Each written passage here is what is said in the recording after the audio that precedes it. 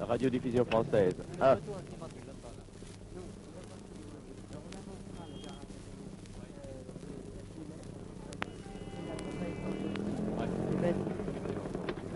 Je réglerai exactement avec toi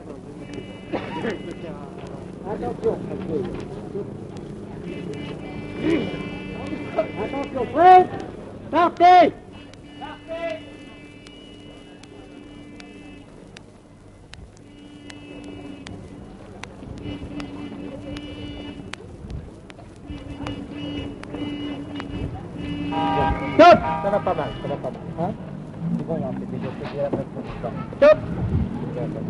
alors, Cap, on va chercher déjà, alors, attends, la, la pompe à essence. Non, non, non, mais... Et la rouler beaucoup plus près de nous. Partez, vous comptez un, deux avant de partir, hein Bon. Alors, il s'agit de régler l'écart maintenant. Hein Alors, le dernier, le remonter vers le bâtiment. Écoutez. Il faut. Laissons celui-là pour l'instant comme il est.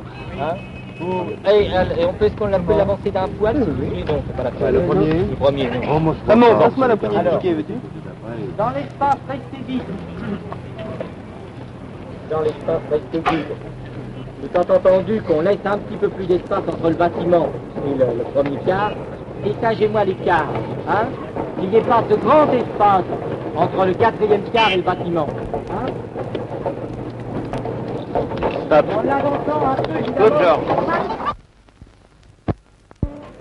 Radiodiffusion française 2.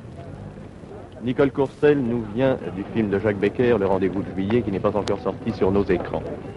Nicole Courcel, vous avez vu, je pense, tous les films de Marcel Carnet, n'est-ce pas? Bien, oui, en grande partie, oui. Vous avez vu Quai des Brumes, vous avez vu Le jour se lève, Oui. vous avez vu les grands classiques que Marcel Carnet a donnés au cinéma français. Et est-ce que vous pensiez, avant d'être engagé pour La Marie du Port, être un personnage d'un film de Marcel Carnet Vous êtes dans le quart.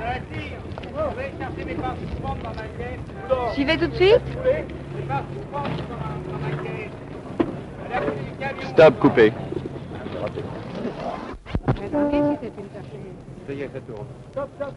Radiodiffusion française 2, suite. Nicole Coussel, pensiez-vous, en voyant les films de Marcel Carnet, être l'un des personnages que Marcel Carnet aime à mettre dans ses films? Eh bien, euh, très franchement, non. Je ne pense pas que je ne pense pas que j'étais un personnage de Marcel Carnet. Un personnage qui met en général dans ses films. Euh, Du reste, je n'étais pas le personnage physiquement, je n'étais pas du tout le personnage de la Marie du Port.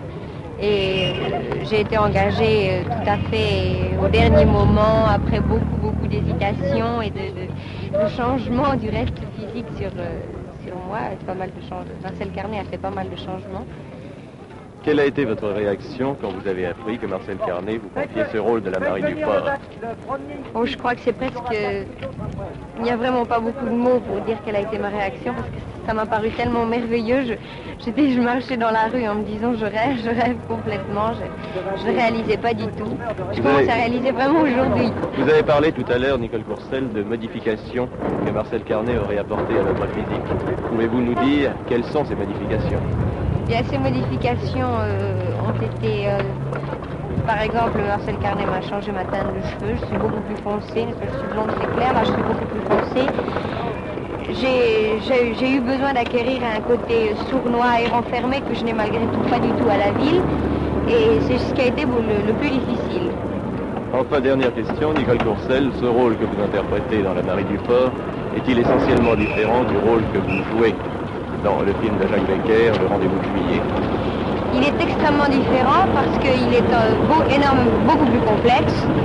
Et euh, il n'y a vraiment qu'un seul côté euh, semblable, en ce sens que c'est malgré tout, je suis dans le film de Jacques Becker, une petite garce, enfin, tout, tout bêtement, tandis que là, je suis une petite garce, mais une fille sournoise, renfermée, mystérieuse, en même temps très franche, très pure. En ce- enfin, c'est beaucoup plus difficile et justement par là, c'est beaucoup plus intéressant. Eh bien, Nicole Courcel, le public parisien, le public... Attention Radiodiffusion française, 3. Attention, prêt Partez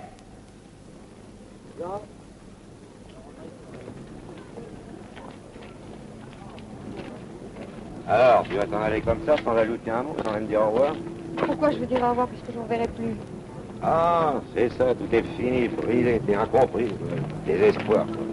Bah, quand tu y es, pourquoi tu vas pas te jeter à l'eau? Qu'est-ce qu'on fait quand on est désespéré? J'ai pas attendu que vous me disiez pour y penser. Bah, qu'est-ce qui te prend? Je crois que je dis ça pour plaisanter. Bon, c'est pas mal. C'est pas mal. Il y a une seule chose, tu as tendance, tu as tendance à t'écarter un petit peu sur ta gauche trop souvent. Et n'oublie pas que nous sommes très prêts à te balancer un peu. Hein? Je sais bien que c'est pas hein? C'est parce que j'ai toujours peur de la cacher. Ça fait rien un peu plus pas d'elle. Hein? Qu'est-ce que vous aviez cette impression, Piquet Quand Jean, que Jean s'écarte un peu d'elle, j'ai souvent fait ça. Vous comprenez? Et, et sort un peu l'épaule gauche, sort un peu du champ. Très souvent. Hein? Et dès l'arrivée, c'est à deux fois. Hein? Vous voyez ça qui est même pas fait d'ailleurs. Hein? Ça.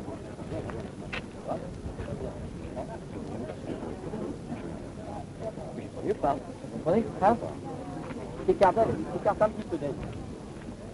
Et ça, ça se produit, ça se produit le deux moments. Tu, tu dois, pour retourner, tu dois faire ça. Tu c'est comprends? Tu, hein. On va essayer. Essayez une fois ticket, vous allez voir. Hein. Stop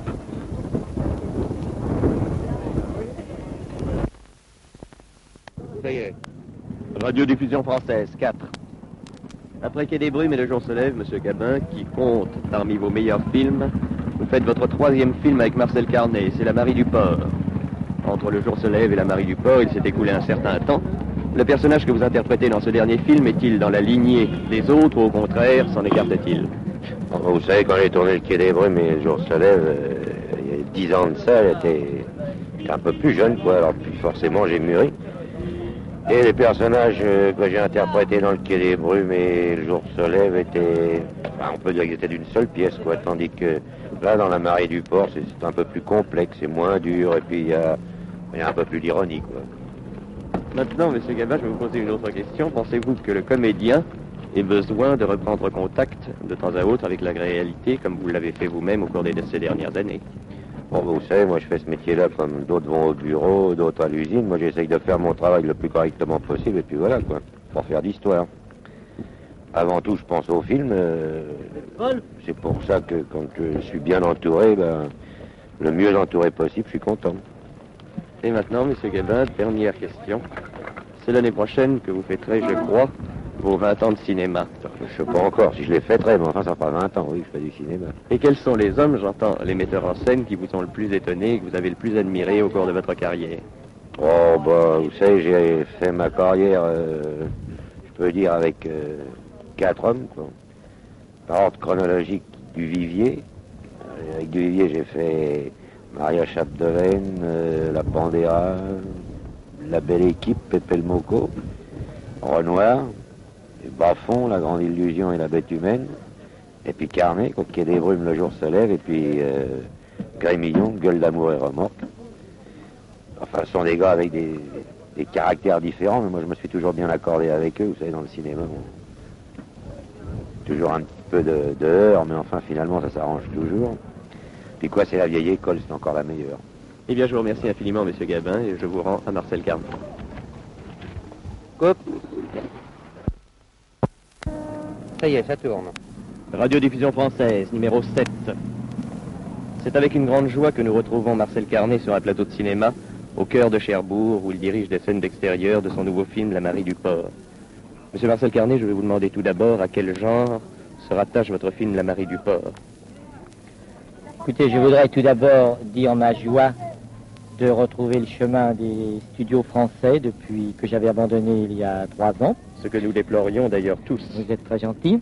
Je le fais avec un film euh, qui n'a d'autre prétention que d'être simple, direct, humain, en dehors de toute euh, dépense exagérée qu'on m'a tellement reproché, à tort ou à raison, ce n'est pas à moi de le dire. À tort, nous pensons. Bon. Et comme vous le voyez, j'ai commencé le film lundi dernier. Euh, je dois dire que tout ne marche pas trop mal. Nous avons eu des petits accidents techniques, mais enfin, nous avons le temps avec nous ce qui ne m'était pas arrivé depuis de nombreuses années, depuis peut-être euh, que je fais du cinéma. Nous nous souvenons en effet que vous avez eu avec votre film La fleur de l'âge des ennuis de temps auxquels vous ne pouviez malheureusement rien.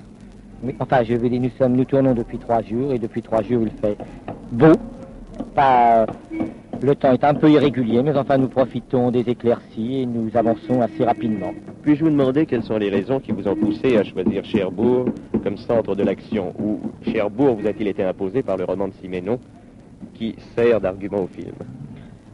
Il est évident que euh, les personnages de Siménon appartiennent à Cherbourg, appartiennent à la Normandie, appartiennent au petit port de port en Bessin, port normand. Et euh, j'ai une randonnée assez longue randonnée il y a 4 ou 5 mois quand il était question que j'adapte le roman. Je suis descendu jusqu'à La Rochelle. Ça m'aurait beaucoup plu de tourner à La Rochelle, mais euh, je me suis rendu compte très vite que ça ne correspondait pas du tout au type du roman. Et c'est dans ce film, La Marie du Port, que vous retrouvez, M. Carnet, l'un de vos interprètes préférés, Jean Gabin, avec qui vous avez fait deux de vos meilleurs films, qui sont, je le rappelle, Quai des Brumes et Le Jour se lève. Pouvez-vous nous dire si vous voyez maintenant, dix ans après Quai des Brumes et Le Jour se lève, Jean Gabin sous un nouvel aspect que dans les films que vous avez déjà fait avec lui Écoutez, je dois dire très franchement que euh, Jean Gabin est comme nous tous, qu'il vieillit, dix ans marque tout de même un homme, et il est évident que Gabin euh, doit évoluer un peu.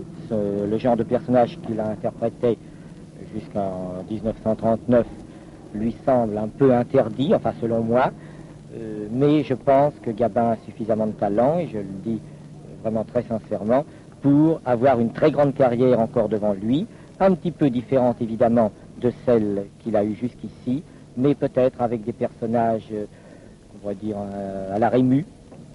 Je crois qu'il peut interpréter, je crois qu'il a beaucoup de rapports avec ce brave Rému, ce pauvre Rému, et je crois que toute une carrière lui est encore réservée. Eh bien, Monsieur Marcel Carnet, pour conclure ce bref entretien, nous nous permettons de vous souhaiter à vous-même, ainsi qu'à la Marie du Port, une brillante réussite et une prompte fin. Je vous remercie beaucoup. Sur ça, je vais travailler.